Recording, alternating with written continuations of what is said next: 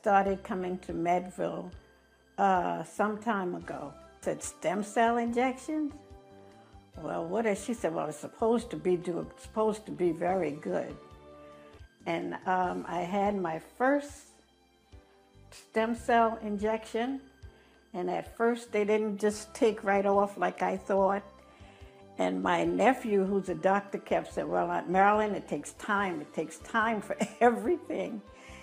And then when I got the second one, it seemed like it went off.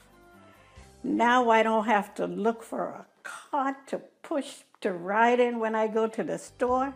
I don't have to look for a cart to lean on to push. I walk without a cane. I'm not 100%, you know, pain free, but well, I can't say that. I'm pain free. Every now and again, I'll have a little pain here and there. But thank God, thank MedWell for their staff and their, their confidence in what they do for their people. I just feel so good. I don't know what to say except that I just feel so good. And I thank you, Carol. I thank you, I thank you, I thank you.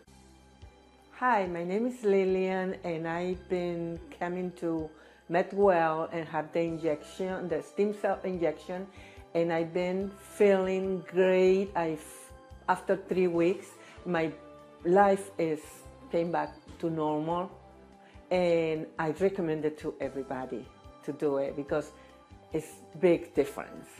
Get uh, uh, treatment for my knee, which I have had three surgeries over the last 20 years and I was still feeling a lot of pain.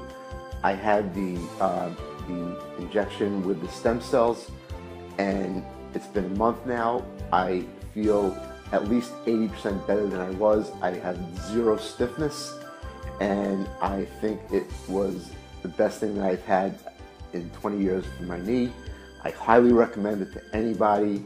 Give it a shot because there's no surgery involved, and it's a month and I'm looking forward to start running again for the first time in years.